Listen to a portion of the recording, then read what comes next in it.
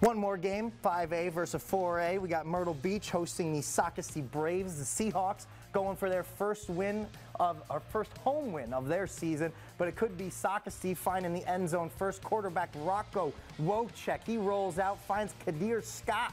He muscles his way through defenders, touchdown. And remember those two names. We're going to hear them quite a few times, I have a feeling. Second quarter now, Socastee goes up two, scoring. Wojcik but Myrtle Beach, the defense forcing the fumble, so it's Campbell recovering the ball. Seahawks tie up the game. No thanks to that deep ball. That's Gibson Goodrow to John Simmons.